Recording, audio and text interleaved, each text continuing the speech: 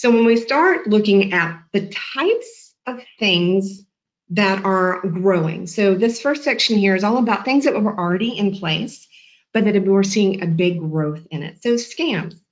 Um, tech support scams, 347 million in 2021, which is an increase of 200 million as compared to 2020. Phishing, always big thing. You talked about phishing at the beginning, not like you know the rod and reel, but phishing in over it's 2021 grew by 82,000 to 324,000 victims of phishing. Data breaches, the number of breaches was slightly lower, but they were bigger. And what you may be hearing around the globe, it's not just small companies. There's some major, massive companies around the globe that have been um, fallen victim to data breaches. Uh, the, one of the most recent ones that may be close and near and dear to your hearts is in Australia. Optus uh, was recently breached, and that has the entire country in an uproar right now, going, "Oh wow, this is really real, and and, and we've got to take steps." So, password stealers. Oh, right. Oh, passwords. 60% increase in the number of unique devices that had a password stealer detection has grown 60% malicious extensions and Chrome-based things where people are doing. They have these extensions, they add them in, and really all it is is doing is stealing your data.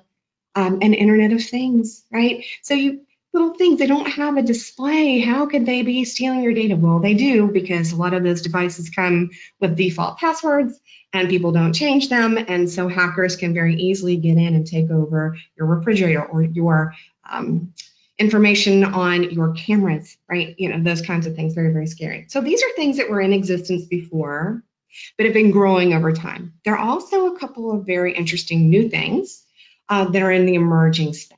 So Android for Windows, being able to create these Android malware that's specifically for the subsystem is becoming available for everyone.